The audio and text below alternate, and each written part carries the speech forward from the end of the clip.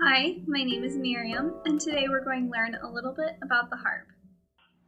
With all the strings that harpists have to deal with, the best way to know where we're at is for the harp to be color coded. All harps are color coded.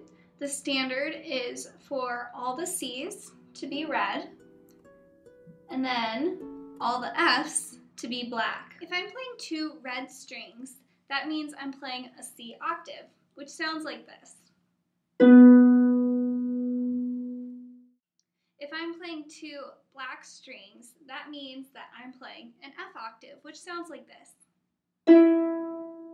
If you look very closely, you can tell that there are two strings between the C and then the F. Those two clear strings are D and E. reverse side, there's three clear strings that are between F and C. These notes are G, A, and B. Now that we're fully aware what every string is, we can play an entire scale.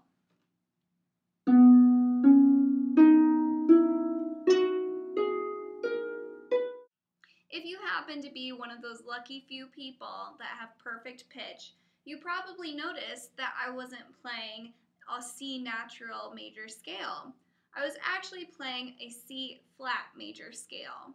Now the way I can set my harp to do this is actually surprisingly through my feet. The double action pedal harp, which is the standard harp you would see in almost any orchestra setting, has seven pedals, which each represent a note. So as you can see, all the pedals down below have three notches that they can go into. The top notch is called flat. When these pedals are in the top notch, then they represent a flat note. When I move them to a middle notch,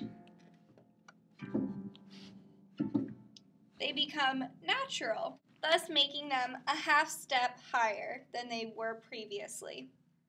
And finally, if I decide to put the pedals in the bottommost slot, these notes then become sharp. When I'm playing the harp and there is an accidental, I have to move that accidental with my foot.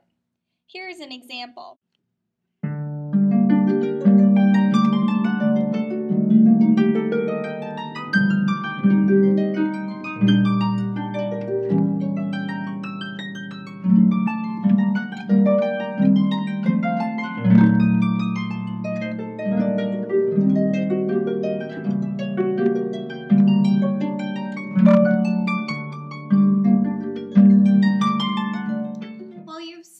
What goes on below. What the audience only sees is this.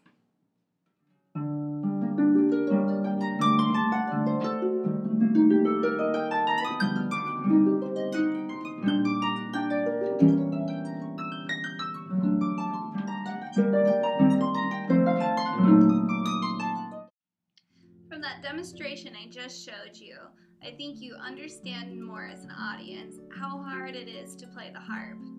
There's a really famous quote that all harpists tend to live by. It goes, To play like an angel, you have to work like the devil.